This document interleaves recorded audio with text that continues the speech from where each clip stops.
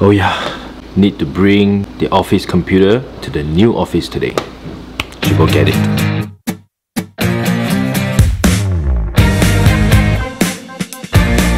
The dustbin and the screen and everything else. Starting the day with a meeting.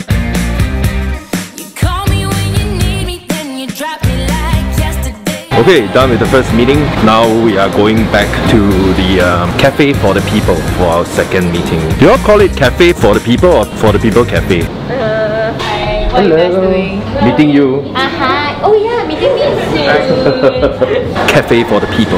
yeah, okay, ah, so ah. Yes, yes. We are done with the second meeting. Now going third. Now going third. Yeah. Yeah, eleven thirty now. Bye.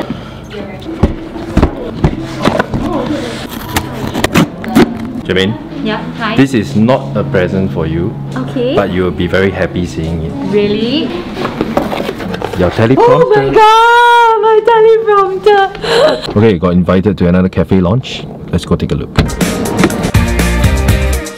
when you get me home, so drunk you just fall asleep. French food.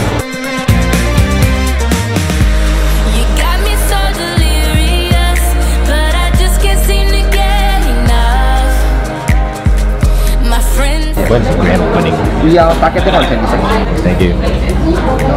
Right now it's just a soft launch. Guys, look at it.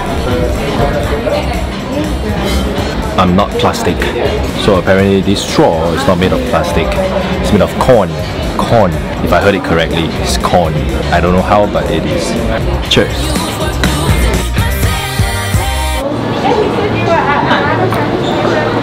Okay, I'm literally here inspired by the Emily in Paris, a new TV show on Netflix.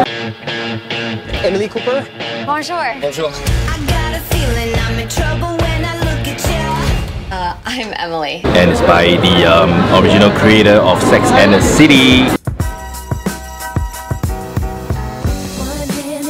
It's been two years. One of my favorite shows.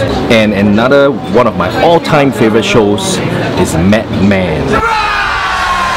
As a wise man once said, the only thing worse than not getting what you want is someone else getting it. You're married to me now.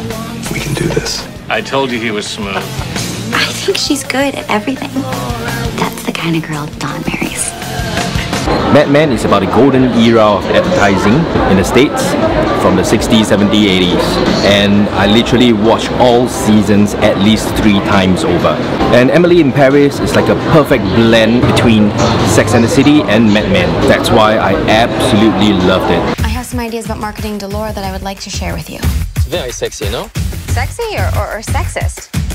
What is the problem? Well, the reason why I love all these shows is because I'm literally doing content marketing and advertising. Uh, I'm in this line of business. So if you share the same interest as me, this might just be the show for you. So this is like a movie review within a cafe review. Okay lah, not so much of a review, okay? I'm just sharing my thoughts.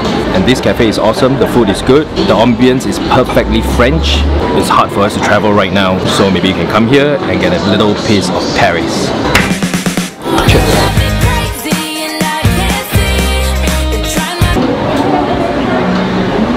Social distancing ambassador is here to spot check. But we're good.